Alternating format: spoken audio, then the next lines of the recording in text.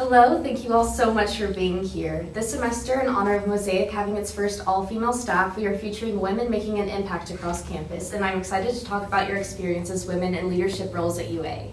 Could we start with each of you introducing yourself, your major, and your publication? Um, I'm Ta'Kyla Bates. I'm a senior majoring in interdisciplinary studies, um, and I'm the current editor in chief at 1956 Magazine. I'm Ashlee Woods. I am a senior majoring in news media with a minor in political science and concentration in sports media, and I am the editor in chief of the Crimson White. I'm Sassy Mednikow. I am a senior majoring in music and business with a minor in accounting, and I am editor in chief at Mosaic Magazine.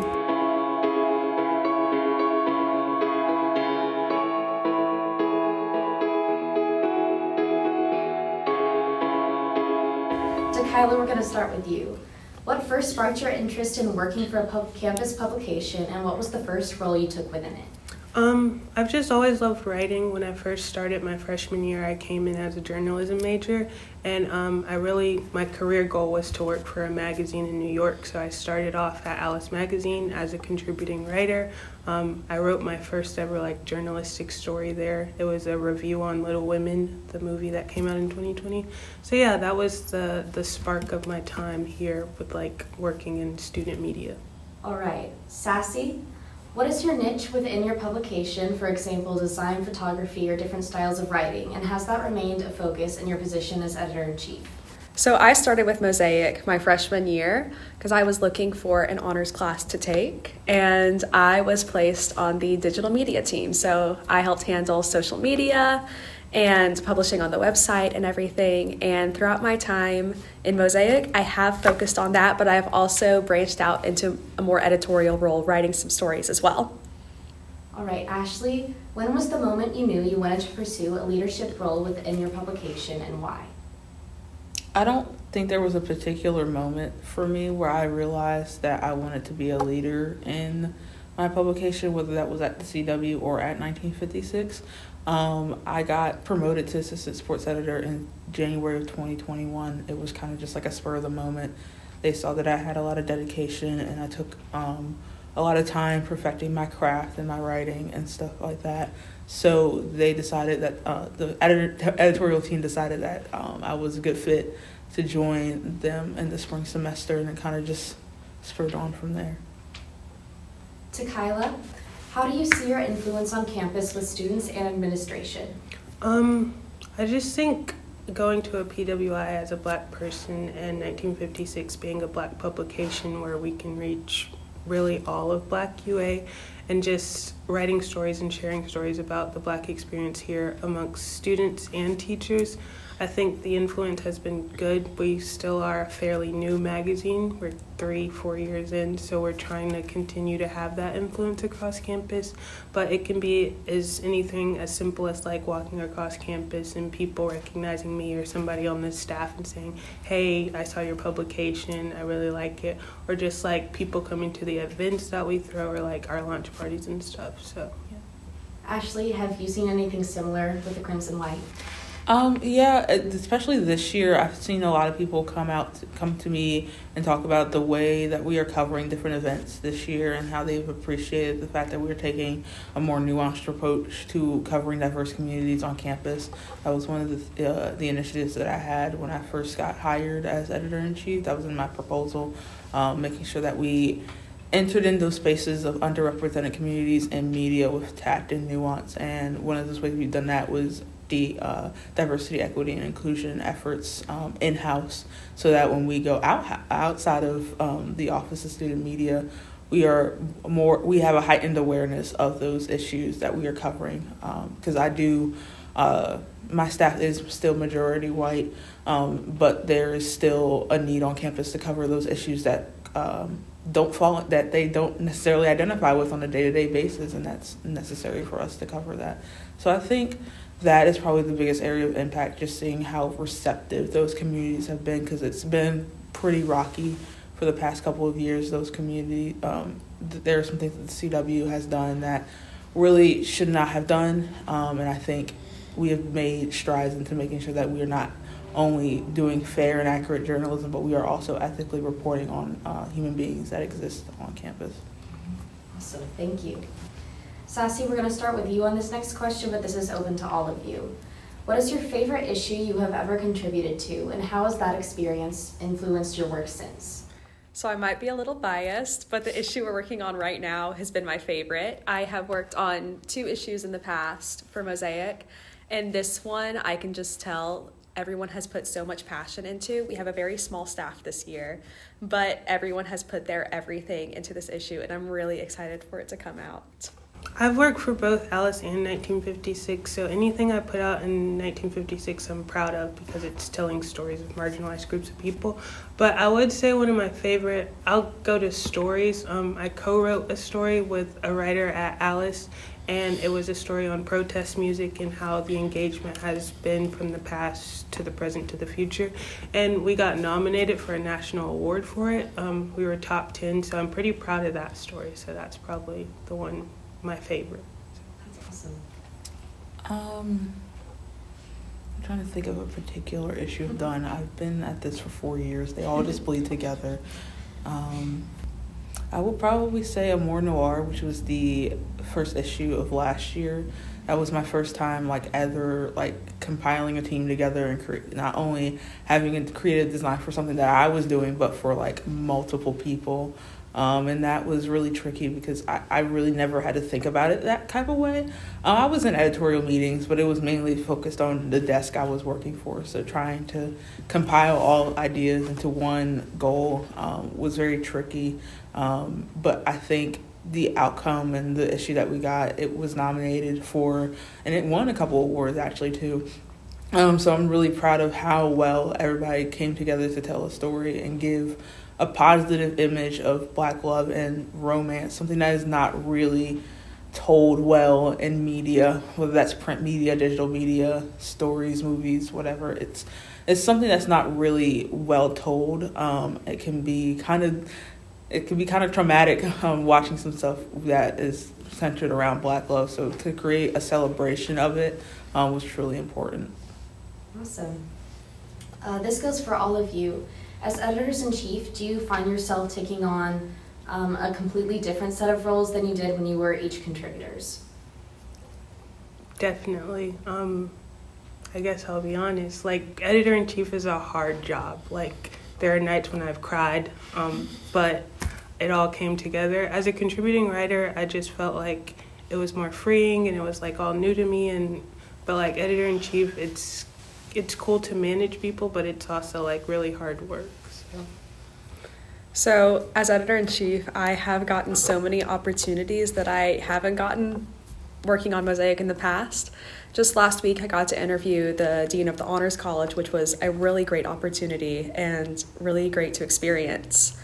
But it is difficult, like you said. I there are nights where I do want to give up, but you know, you just got to keep chugging along and keep working at it.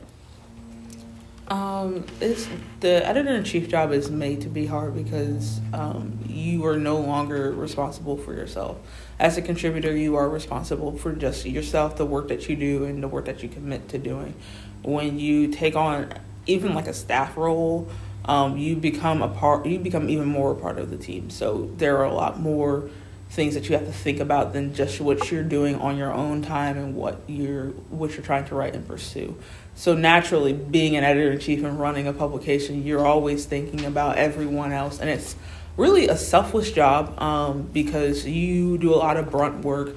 There's a lot of burden on your shoulders, um, and you don't necessarily get a lot of glory for it. I mean, there is payoff, and when the print edition comes out and a lot people like it and people are sharing it on social media but there's a lot of things that i've done over the semester that i'm proud of that just simply got no recognition and that's just the price of fame honestly. Um, but it's more so about creating relationships and creating bonds to make sure that people in the future have a better workplace to come into. That is something that i've taken on with um, uh, the CW, making sure that I create a place that where people can learn and grow and become innovative people, so that whatever they do in the future, I have a lot of people that are not going to touch digital and print media once they graduate um, from the University of Alabama, and that's okay. I want this to be a learning lab to learn um, interdisciplinary skills that you can take to whatever workforce you land into. Uh, speaking of that, do you plan to pursue media after graduation? And if not, how has your time in media, student media prepared you for your future? Um, I do plan on pursuing a career in media, um, more so the sports media side of things. I'm thinking about going into digital media. My time in print is done. I'm good. I, I'm, I'm ready to go to the digital side. Um, I think my time in student media has prepared me for the ups and downs of what it really means to be working in media, whether that's a journalist, a writer, a photographer, designer, whatever you're doing. Um, it's hard. Um, there are a lot of nights where you're gonna cry, you're gonna give up. You're just like, I don't want to do this no more. Um, it's more so about how you navigate those times. This semester has been particularly rough for me because I am doing something that no one else that looks like me has done before. So there's a separate set of challenges that come with that. And that's not my problem, but it's my it's my burden to bear because I took this job on. Um, and I think being in student media and having people um, in this framework that are supporting of me and supportive of what I'm trying to do has really helped. And I think student media has given me a lot of connections um, to people that I can use in the future to maybe like help better not only my career but other people's careers. So, I do not plan on pursuing media after graduation. This wasn't really something I was planning to do in college either, but it is something I have enjoyed, and I am planning on going into business after this. And the role of editor in chief, being in charge of so many different things at once, has really prepared me for the real world and managing so many different things in a business sense, just because you have to be on top of everything. And so my time in student media has really helped prepare me for the real world in that sense. I also don't plan on pursuing media after graduation being here like for the past four years i've continued to fall in love with writing. Like writing will always be something i'm passionate about and like media isn't completely off the table. If i get offered to write for a magazine one day i, I probably will take it. Um, but it's just not something i see myself continuing to do within my career. But i love storytelling and i love reading and writing about people's stories. Um, but like being here and in this leadership position it has taught me managerial skills as well. And just it's taught me a lot about myself as well what my work ethic is how i'm able to lead people how i'm able to delegate and things like that. So i think that's a good thing that i can leave here with and have learned from student media. This final question is for each of you. If you could give one piece of advice to young women in pursuit of leadership roles especially in media what would it be here, I'll start. You were placed in this role for a reason. You might feel like you aren't good enough. You might, I have really bad imposter syndrome, and I definitely had a lot of doubts when I started this role. But you were placed in this role because people have faith in you and people know you can do it. And you just have to, you're, you're the only one who doesn't believe in yourself a lot of the time. I know this is very true for me. So you can do it even if you don't think you can know who you are before you step into this role. This role, whatever kind of role it is, whether it's an editor, you're an editor in chief, or whatever type of leadership role that you have, you have to know who you are outside of that leadership role in order for you for it to be successful. Because imposter syndrome will kick in, and you will feel like you're doing everything wrong. Um, so it's important to know who you are, and it's important to have people who know who you are when you're outside of the uh, workplace. Um, that has really helped me um, ground myself, my mom, my parent, my dad, my brother, and my tight, tight, very tight circle of friends outside of here um, that know who I am and what I try to be outside of the Office of Student Media. They help ground me and keep me in perspective of what the true goal is, and that's to graduate um, come May. So know who you are, know the things that you like to do, what you don't like to do. Um, truly understand what makes you tick before you take on a leadership role. Because if you don't understand your personality, your work style, your work ethic before you step into a leadership role, it's going to be miserable.